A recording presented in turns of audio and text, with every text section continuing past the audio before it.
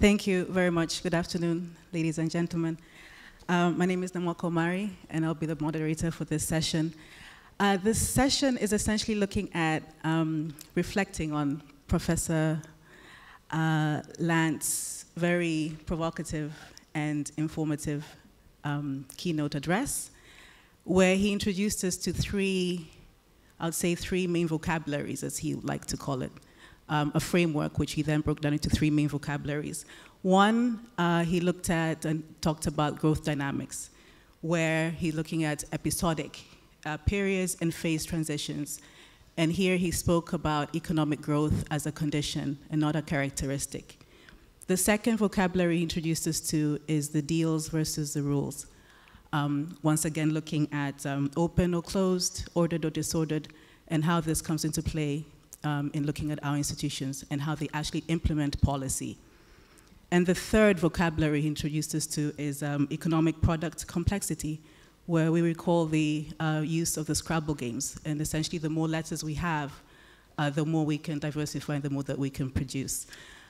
Um, based on this, uh, our first uh, panelist who has uh, left us, Professor Benno Ndulu, took us through the Tanzania's uh, transition uh, through um, this journey, looking at socialism through to uh, Mwinyi, through to Mkapa, through to Kikwete, to the current administration, and spoke to the importance of clarity, the importance of uh, predictability, the importance of clear rules of the game. So he gave us the Tanzanian macro level perspective. With this, um, I'd like to introduce the next panelist, Dr. Nii Sowa uh, who is the country director for IGC based in Ghana, to give us a broader continental view of what we've heard this morning and your reflections of the keynote. Welcome.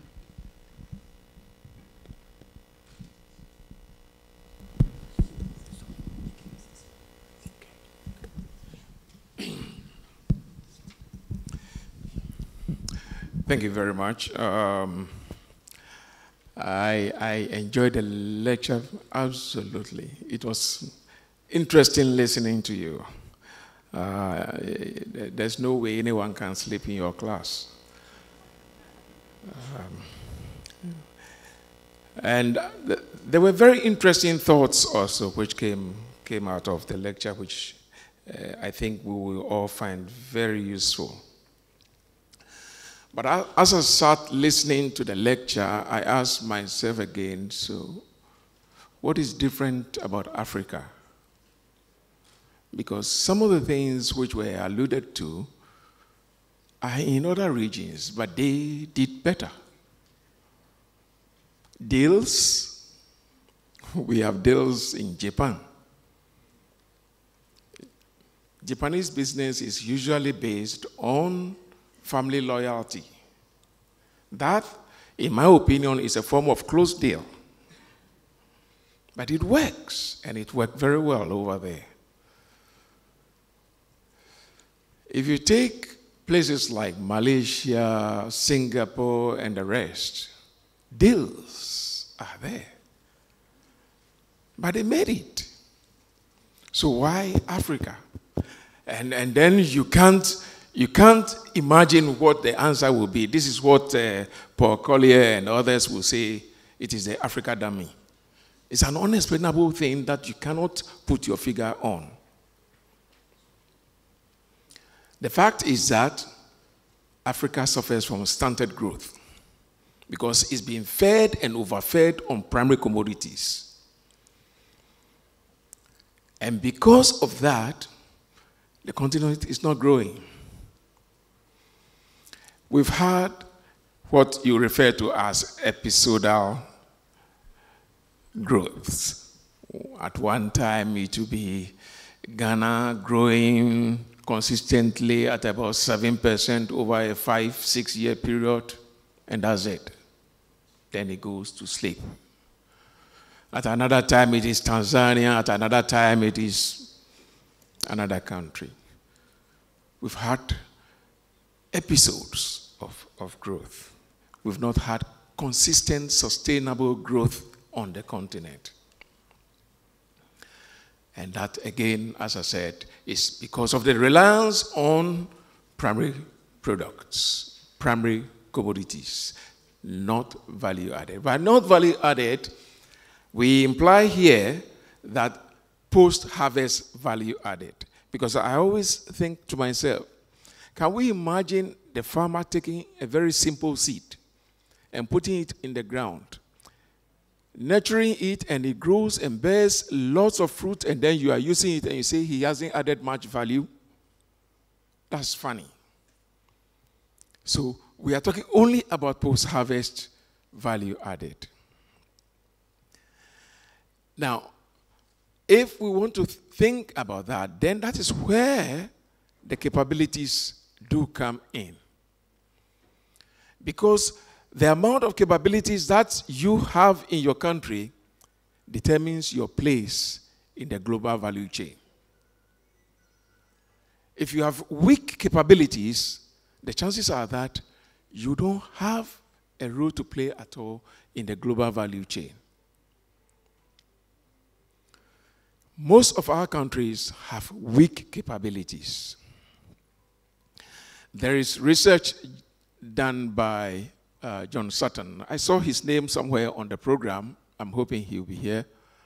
Um, he did research on five countries, mapping out what he did, eh, what he called enterprise mind mapping, where he examined capabilities in various countries. He used actually Tanzania, Ghana, um, uh, Ethiopia, Mozambique, and, and uh, uh, uh, a, a, a, a fifth country. In some instances, he found out that there were capabilities, local capabilities were there, which can be exploited to be able to enhance our place within the global supply chain. In other places, he found out that there were no local capabilities at all. So then, what is the trick here? The trick then is to promote more of regional integration so that within a particular region we can exploit the capabilities within the region than relying on just one country's capabilities. That may be a way out for Africa. Exploiting regional capabilities rather than relying on each country's capability. But even there, there, is, there are still weaknesses which we need to recognize. There is a research which was done on Zambia and South Africa in terms of regional value chains. And the results for th that research are not much different from when you are comparing Zambia within the context of global value chains. Why? Because again, in this particular instance, South Africa just turned out to be the dominant factor. So South Africa was more or less appropriating all the gains from the value added uh, by way of, of, of remuneration for the, for the value added. Zambia didn't gain much in that. So we should think clearly, even within the uh, Africa regional integration kind of thing, what we can do to enhance capabilities within the regions concerned. If we can do that, we'll go forward. Similar examples can be given of the East African community. If you take places like Rwanda, Uganda, Kenya, Tanzania, and so on, and you look at the products, the products are virtually the same. And if you think about the capabilities, the capabilities are virtually the same. It means that we will not have the complexity of products if we rely on only our regional capabilities. And sometimes the politics of it also is what kills us. Because even in developing that capability, you are thinking about other issues in terms of the political economy.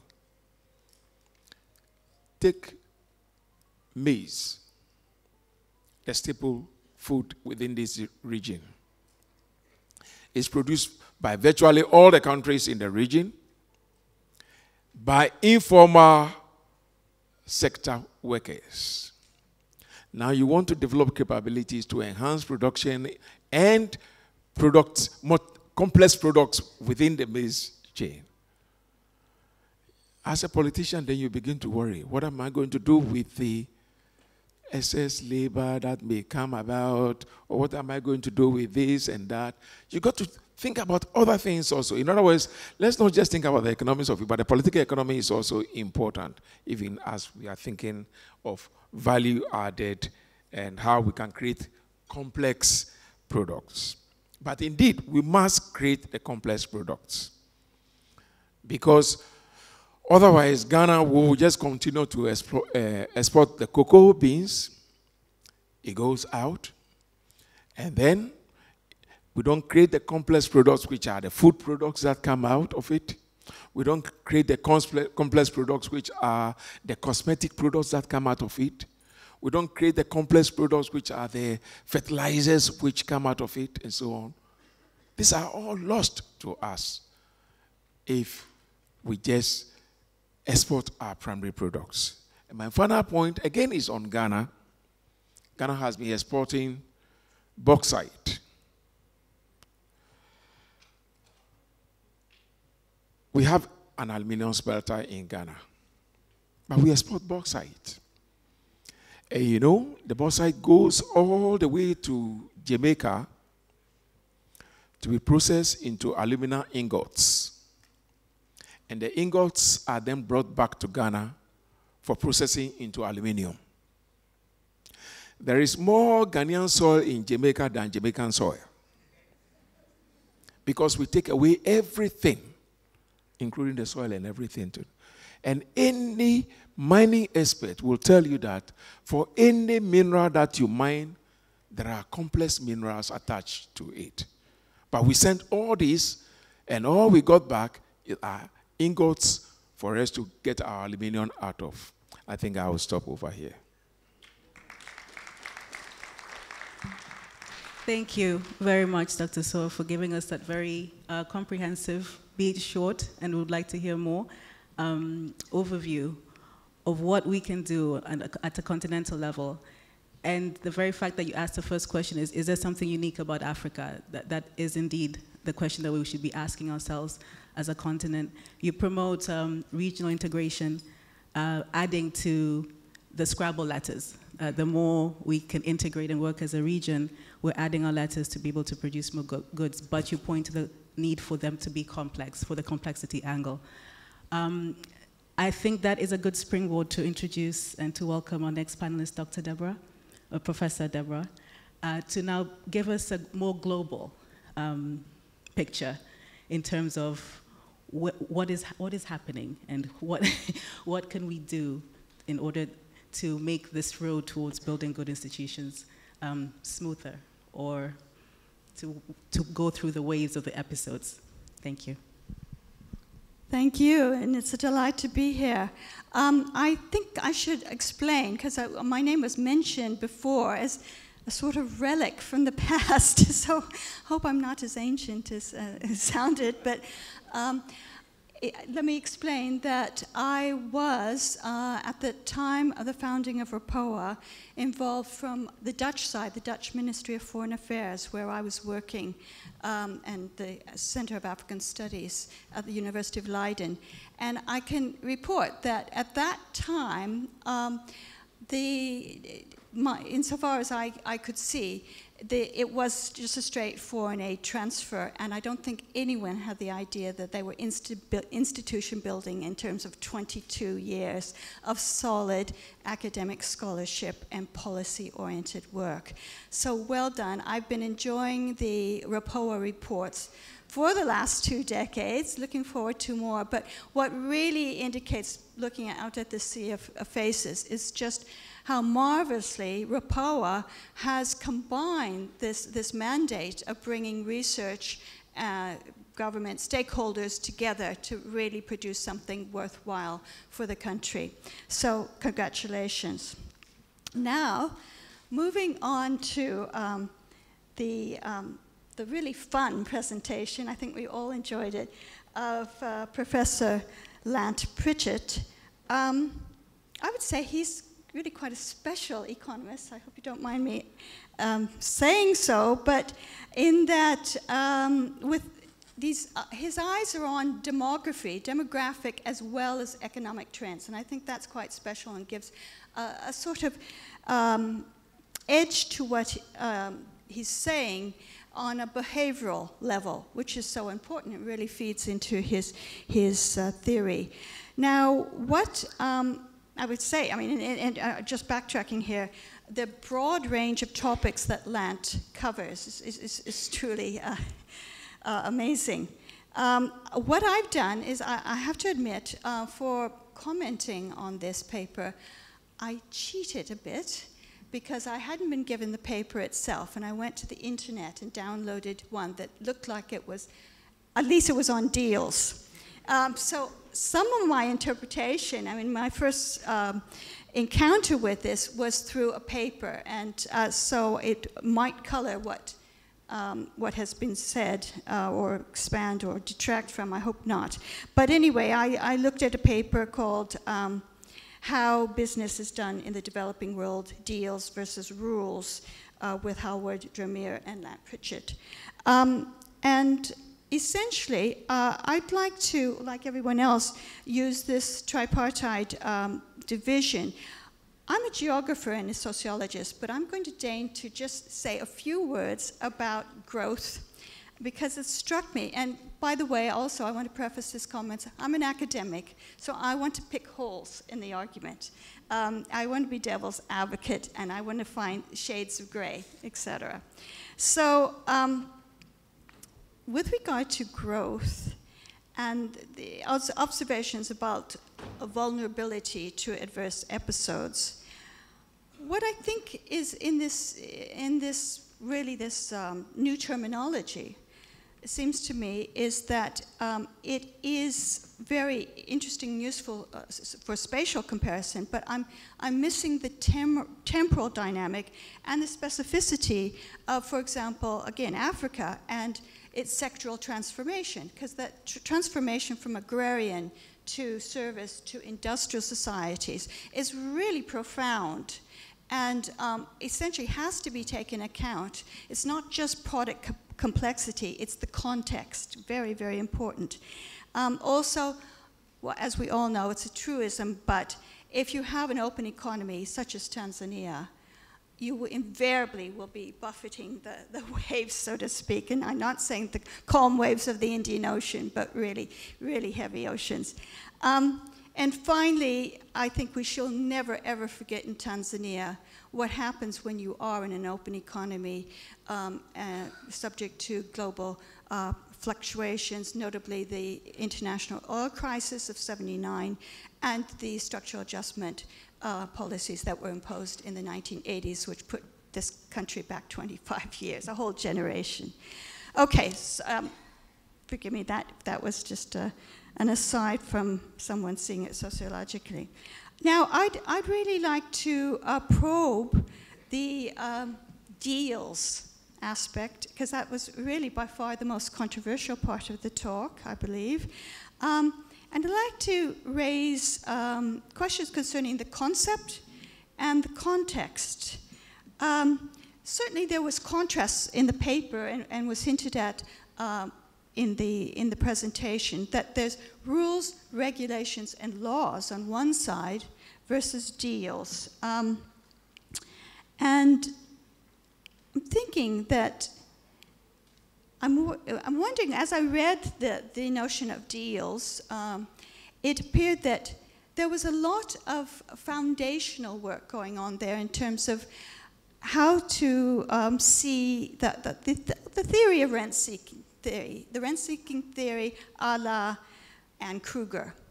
One still sees parts of that, I would have thought, and please forgive me if uh, I'm wrong, or explain how deals has differed from various aspects of the rent theory and good governance.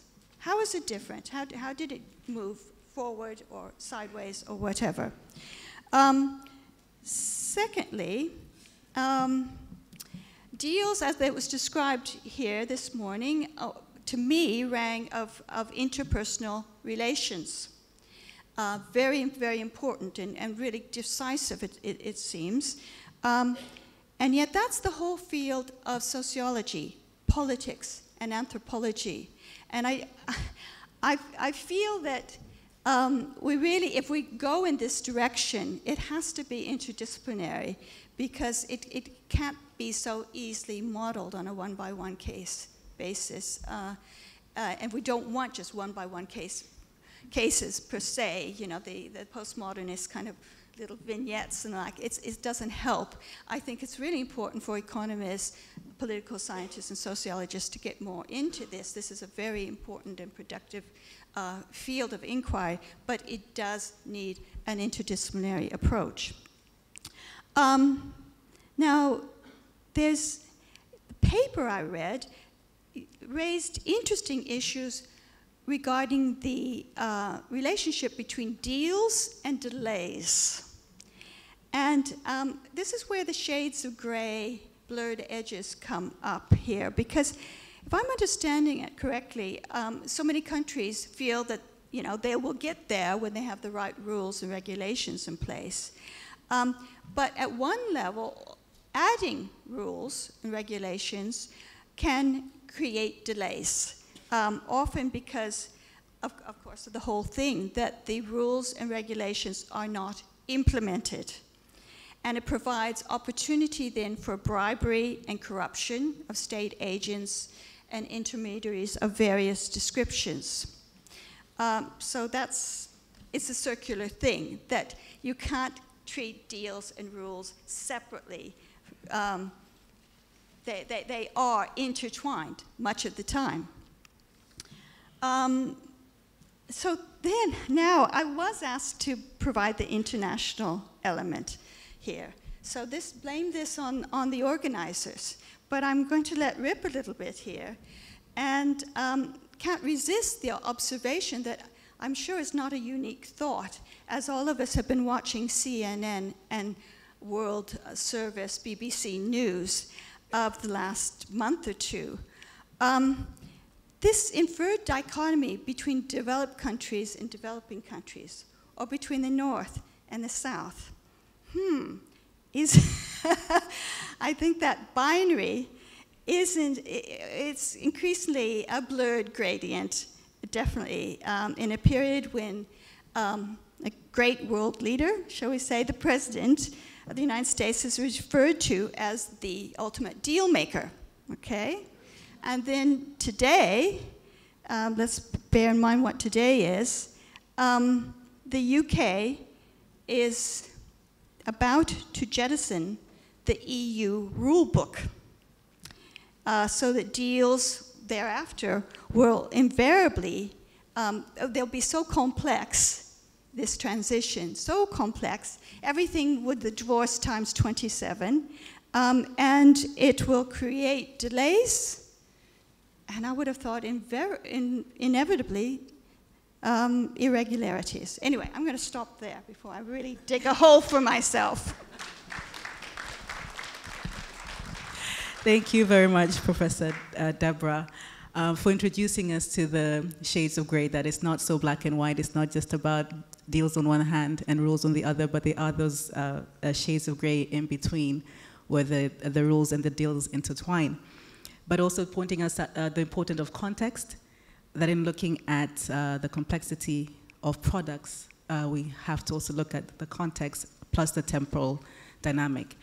Uh, going back to Dr. Sowa, who uh, pointed the importance of looking at the political economy, and um, in the spirit of an interdisciplinary approach, as Professor uh, Deborah said, is needed, I'd now like to turn to uh, Dr. Ali Bashiru, a political scientist. So we're already looking and uh, to get the other side, the political angle uh, from the University of Dar es Salaam.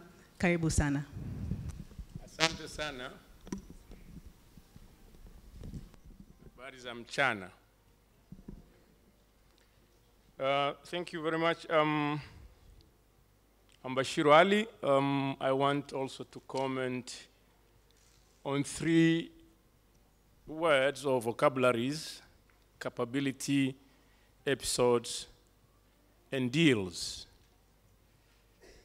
And collectively, you know, I think we can understand these three vocabularies only if we unravel the class content. The class content of every deal, of every rule. Uh, and that's why, at times, we want to have capable institutions, yes. But not all capable institutions are legitimate. And we have had episodes where capable institutions have created social disaster globally. And in my mind, I have NATO in my mind. NATO is the most capable militarily institution in this world. So if we are interested in capable institutions, we must qualify that capability. Some capability can produce social disaster, and some capability can produce social progress. And I think our interest in this forum, I don't think if we are interested in creating capable institutions which can become monster. And NATO is one of our monster in our current days. I don't want to elaborate, everybody can say about it. So capabilities are important. Institutions are important. But I think we need to, to, to understand that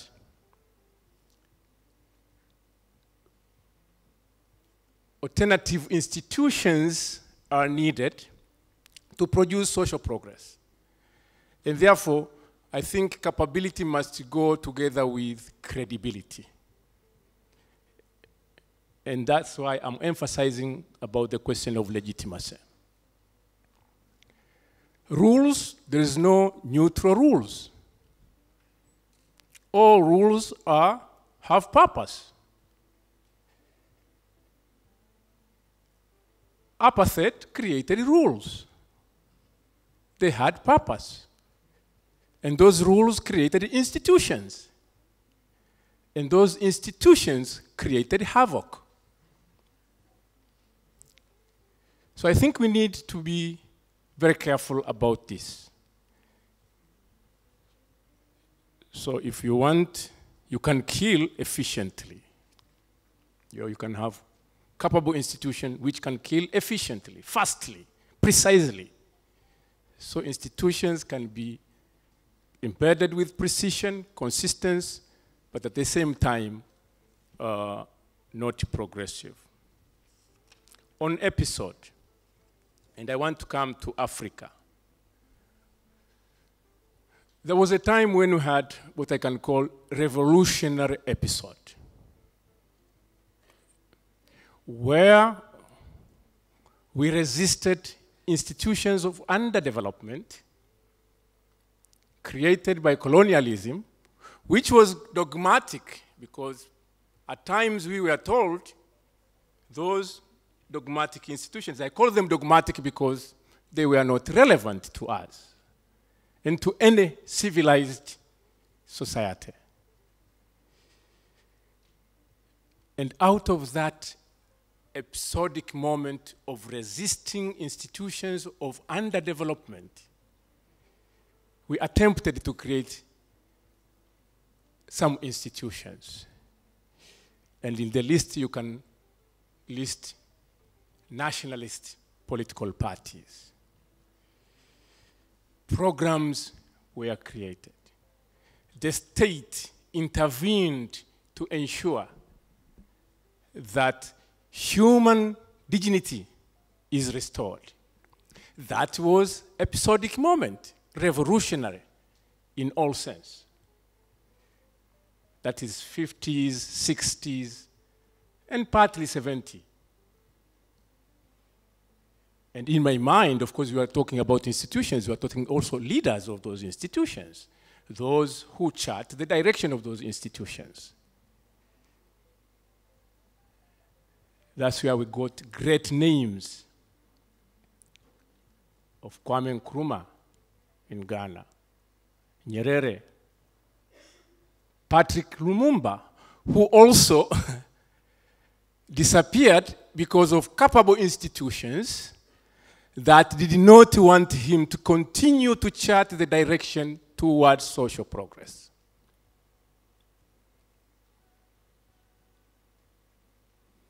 What is the current episode? I call it the episode of neoliberal dogmas, where we are forced to get into the deals which are not basically progressive in all senses, but regressive.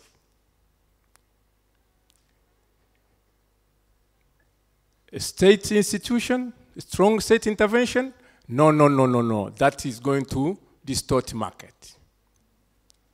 Yeah. And of course, you get the dealers in that context. Professor Chachage called them the pimps of free market. Or even those are dealers also. So, to keep it short, what is lacking in this presentation? And in the interest of multidisciplinarity, the class content is important. The class analysis is important. And the class interest that drives those institutions. Thank you very much.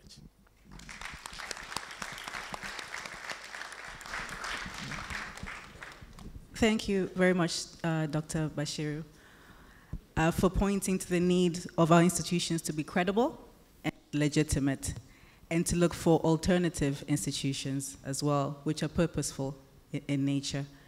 And of course, not forgetting the class analysis into our uh, discussions, which will be ongoing for the next day and a half. Uh, last but not least, uh, Dr. Tausi Kida, the Executive Director for ESRF, Economic and Social Research Foundation, um, who will now bring it back again to the socioeconomic and, and give us a sense of what is needed on the ground uh, through her vast experience in the development field. Karibu sana, Dr. Kida. Asante sana na habarini za mchana. Uh, first of all, I would like to thank uh, REPOA for bringing this uh, very timely theme on the importance of institution in our industrialization-led uh, economy. Uh, as Tanzania now is embarking towards our Vision 2025, and we are currently implementing our five-year development plan, uh, which is predominantly focusing on industrialization. The role of institution is very, very important, and currently there have been a lot of efforts uh, by the government to strengthen our institutions and actually to have the rules of the games in our institution and how we operate our institutions very clear. So uh, the presentation this morning uh, uh, from our keynote address, I can say a bit uh, is bringing another angle of looking at things, I can say a little bit controversial, as we are looking at the rules vis-a-vis games and the difficulty of growth dynamics in the real, you know, in the deals world. So the aspects of uh, deal is quite new and uh, maybe a bit controversial in our, in our context. Nevertheless, uh, I've you know, picked uh, four key aspects, whereas from the presentation this morning that we can learn as we are embarking towards our own process of development. First of all, it was very clear that economic growth alone is not enough. We need to sustain the growth, ensure that uh, the growth is inclusive, and by doing that, the role of institution is very important. Tanzania has been seeing remarkable economic growth, you know, for the last 10 years. Um, however, uh, what I can say, the linkage with its, uh, in terms of structure transformation and economic transformation, has been very minimal, and its impact to human development as well. So a lot has to be done to see how we can achieve the desired structural transformation. And actually at the end of the day this economic transformation uh, economic growth to have impact uh, on uh, human development. So the important point that came out uh, this morning is it's important to remember that while episodes of very rapid economic growth are common but uh, Professor Lant warned us that uh, there is also aspect of uh, growth collapse. So this is important for Tanzania as we have, we have been enjoying this high uh, level of economic growth for a while now. You know, there is a danger for collapse and how can we rebuild and our institution to ensure, to ensure that we are actually avoiding the collapse. And my second point is on uh, institution will play a key role to ensure that Tanzania will avoid growth collapse. Uh, but the main challenge is how can we go about it? Uh, this is very important. There is a need uh, to see how we can achieve this positive institutional change. And uh, the address this morning um, by Professor Lant again, uh, he warned us that uh, for everything that we do, institution is uh, central. But whether the aspect of deals in that is enough, you know, to achieve this centrality of institution, this is again debatable. And my, my, my third point is on implementation. I think there was a very strong emphasis on implementation. Uh, what Professor Lant said, we can have all these good policies, but if, if implementation is not there, then we won't achieve what we want to achieve. And in Tanzania, I see one of the drawback is actually it's important to think about our policy coherence. Uh, the five-year development plan acknowledges that there is weak alignment of policies, procedures, planning, and institutional coordination, and this reflects lack of consensus among stakeholders and sometimes ultimately affect our development management. So the whole aspect on how are we implementing the good policies that we have, but also how are we coordinating. So the aspect of coherence there is very important. But again, when we talk about implementation, uh, the second aspect is uh, uh, policy formulation in Tanzania happens mainly at the national level, but uh, implementation is happening at the local level. So the linkage between the national and subnational level here is very important, again, to achieve what we want to, to achieve. And lastly, my, my point is in, on the role of the private sector, uh, the capacity and also the role of private sector institution you know, to strengthen the private sector institution so that uh, to be able to engage in a meaningful uh, structured dialogue with the government at all levels coming to you know the larger level of private sector, but also the SMEs. So the, this is to ensure that the government the, the government actually will respond and support uh, the private sector in the development process. Thank you very much.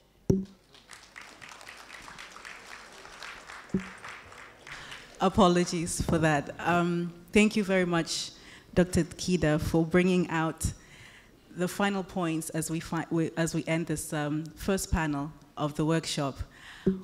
We have heard um, a lot of information since morning until now uh, from the various presentations in the morning to our panelists and their uh, recommendations, suggestions, and, and what we should be looking at when we're looking at building strong institutions for industrial-led um, would be the best person to address them. So I'd like at this point to invite back uh, Professor Lant to address some of the comments about, for example, the, the Scrabble letters, who actually holds the letters, credibility, legitimacy, and then also about the danger of having too many deals and what type of deals. Welcome back.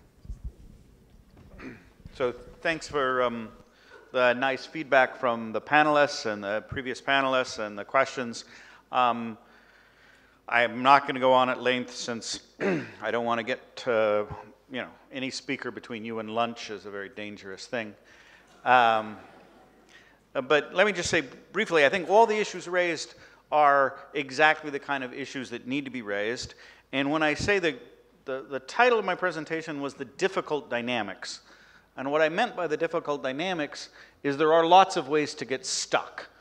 You know, it, it might look like the, the, the ocean, uh, you can sail any way you want to get to good institutions, but in fact, there's many under, you know, obstacles just under the ground that can tear your boat up if you get off a quite narrow path. One of those, for instance, is, and so what are the difficult dynamics? One of the difficult dynamics is if you develop institutions that are about primary commodities, and which the fundamental political settlement is about sort of how to deal with primary commodities, it's very difficult to move that forward to being responsive about the needs of manufacturing. So when you contrast Singapore and Malaysia with Ghana, part of it is that all of the institutions became about how to cope with the commodities that were there. Now, in some sense, many of the East Asian countries were blessed with a lack they didn't have that, so they had to be, by necessity, into manufacturers, so they were forced to create institutions to cope with that. Um, uh, the second issue is, and I don't, I, I mean, what I wanted to be clear is that the dynamics are that you can't create institutions instantaneously. Institutions evolve through a dynamic, and it is a political dynamic, a dynamic that involves class and power and all of those issues. And one of the dead ends of that dynamic is precisely that the deals that create the original economic growth create illegitimacy. They're not legitimate deals. So I'm not, you know, no one would think it's progress to move from a rules oriented society backwards. So I'm not a fan of Donald Trump going from a rules oriented country towards deals. The question is how do you move from deals towards rules? And in fact, the difficulty is, is you can get in a deals environment like Benno Ndulu was mentioning, in which the deal brokers are simultaneously so political powerful that they don't want stronger institutions. Because, after all, what strong institutions prevent you from doing is cutting whatever deal you want. So, again, one of the difficult paths you can get in is you can get on a growth path that through sort of expeditious deals can provide immediate returns in growth, but actually undermines the credibility and legitimacy of the power behind those deals in the long run. So that's another difficult. One path you can get on is get onto stagnant institutions around commodity. Another path you can get on is that the deals lead you not towards rules, but away from rules, because they undermine the, the institutions that could potentially be the blocking of the deal broker. So if I'm a deal broker, the last thing I want is for the outcome for my, you know, for the outcome be determined strictly by the rules, because then I can't sell my services, which is intermediating the rules. So, so part of this is all about the dynamics. And, you know, there's a saying that you go to war with the army you have, right? Well, you go, you know, in economic progress, you start with the institutions you have, and I think the process to be thought through carefully is how do you structure so that we deliver both economic performance and stronger, more credible, and legitimate uh, institutions that move towards a more open, uh, rules based environment in the internet. And balancing that, again, is a very tricky shoals because many countries start with economic growth and implode because they've been building very fragile institutions. Other countries get stuck where they can't build the institutions of dynamism and innovation because they're stuck on a given set of commodities, and their institutions are about reconciling those commodities. So part of what I meant by the difficult dynamics is manipulate, eh, you know, guiding this is a difficult process, and there's been many ways to fail, but also there are ways to succeed. Thank you very much. Thank you very much, Professor Lant. And thank you once again to the panelists. Um, for opening up the discussion for the afternoon and for tomorrow as well. I would just like to leave you with a question that was raised by the Honorable Minister in his opening speech in terms of what institutional architecture is actually needed um, to diversify the economy and to push the industrialization agenda forward. Um, I, thought, I thought that that was broad enough that can lead us to having um, a strong set of recommendations going forward um, to inform the government particularly our government of Tanzania, as to how best to be successful in its agenda uh, for industrialization. With that, I'd like to hand back to Dr. Bandina, and thank you very much.